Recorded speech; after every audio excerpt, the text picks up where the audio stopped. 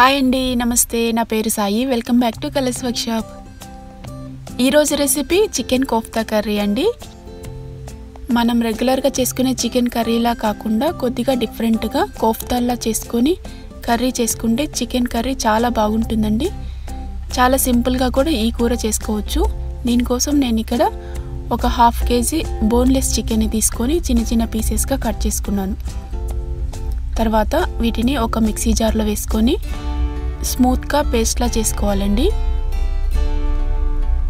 ఈ విధంగా చేసుకున్న తర్వాత దీన్ని ఒక మిక్సింగ్ బౌల్లోకి మార్చుకోవాలి. చూసారు కదా ఈ విధంగా చాలా సాఫ్ట్గా అయిపోతుంది. తర్వాత ఒక చిన్న ఉల్లిపాయని సన్నగా కట్ చేసి దాంట్లో ఒక మూడు పచ్చిమిరపకాయలు కూడా వేసుకొని రఫ్గా మిక్సీ వేసుకోవాలండి. ఈ విధంగా వేసుకొని పక్కన పెట్టుకోవాలి. తర్వాత మిక్సీ వేసిన చికెన్లోకి తగినంత సాల్ట్ వేసుకోవాలి. కొద్దిగా పెప్పర్ ఒక స్పూన్ వరకు కారం వేసుకున్నాను. తర్వాత కొద్దిగా ధనియాల పొడి కొద్దిగా జీలకర్ర పొడి తర్వాత కొంచెం పసుపు. అలాగే ఒక స్పూన్ వరకు గరం మసాలా కూడా వేసుకోవాలి. ఒక పెద్ద స్పూన్ వరకు అల్లం వెల్లుల్లి పేస్ట్ వేసుకొని మనం మిక్సీ వేసి పెట్టుకున్న ఆనియన్ పచ్చిమిర్చి పేస్ట్ని కూడా వేసుకొని ఇదంతా మొత్తం బాగా కలిసే విధంగా బాగా కలుపుకొని ఒక పది నిమిషాల పాటు పక్కన పెట్టుకోవాలి. తర్వాత చేతికి కొద్దిగా ఆయిల్ని అప్లై చేసుకొని చిన్న చిన్న బాల్స్లా చేసుకోవాలండి. ఈ విధంగా అన్ని బాల్స్లా చేసుకొని తర్వాత స్టవ్ మీద ఒక ప్యాన్ పెట్టుకొని అందులో ఒక త్రీ స్పూన్స్ వరకు ఆయిల్ వేసి ఆయిల్ వేడైన తర్వాత మనం ముందుగా ప్రిపేర్ చేసి పెట్టుకున్న ఈ మీట్ బాల్స్ని వేసుకొని ఫ్రై చేసుకోవాలండి. ఈ చికెన్లోంచి వాటర్ అనేది వస్తుంది కదా ఆ వాటర్ అంతా ఎగిరిపోయిన తర్వాత రెండు వైపులా మంచి కలర్ వచ్చే వరకు ఫ్రై చేసుకోవాలండి. ఈ మీట్ బాల్స్ ఫ్రై అవడానికి ఎక్కువ టైం పట్టదు చాలా త్వరగానే కుక్ అయిపోతాయి.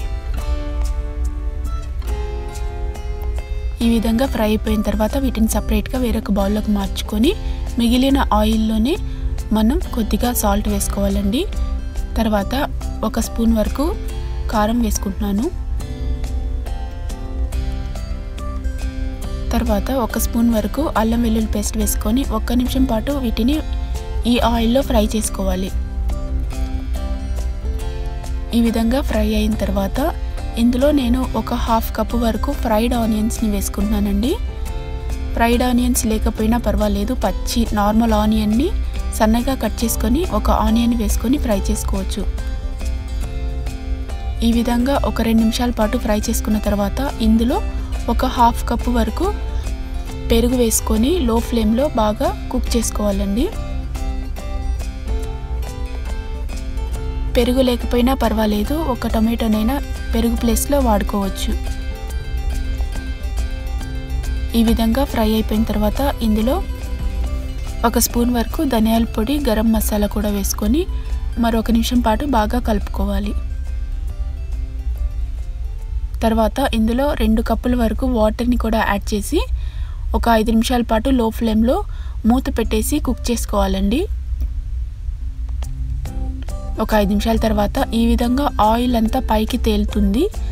ఇప్పుడు మనం ముందుగా ఫ్రై చేసి పెట్టుకున్న మీట్ బాల్స్ని ఇందులో వేసుకొని ఒక హాఫ్ కప్పు వరకు వాటర్ని కూడా యాడ్ చేసుకొని ఒకసారి మొత్తం బాగా మిక్స్ చేసుకొని ఒక ఏడు నుంచి ఎనిమిది నిమిషాల పాటు లో ఫ్లేమ్లో కుక్ చేసుకోవాలండి. సాల్ట్ ఏదైనా తగ్గితే చెక్ చేసుకొని కొద్దిగా సాల్ట్ కూడా వేసుకొని మూత పెట్టేసి సెవెన్ మినిట్స్ పాటు కుక్ చేసుకోవాలి. చూసారు కదా ఈ విధంగా కుక్ అయిపోయిన తర్వాత చివరిలో కొద్దిగా కొత్తిమీర కూడా వేసుకొని ఒక నిమిషం బాగా కలుపుకున్న తర్వాత స్టవ్ ఆపేసి హాట్ హాట్గా సర్వ్ చేసుకుంటే మనకి ఎంతో టేస్టీగా ఉండే చికెన్ కోఫ్తా కర్రీ రెడీ అయిపోతుంది. ఇది చాలా టేస్టీగా ఉంటుందండి. ఇది చపాతీలోకి రైస్లోకి బిర్యానీలోకి ఇలా దేనికైనా కానీ చాలా టేస్టీగా ఉంటుంది. మీరు కూడా తప్పకుండా ఒకసారి ట్రై చేసి చూడండి. ఈ వీడియో కనుక నచ్చినట్లయితే లైక్ చేయండి షేర్ చేయండి సబ్స్క్రైబ్ చేయడం మర్చిపోవద్దు. Thank you.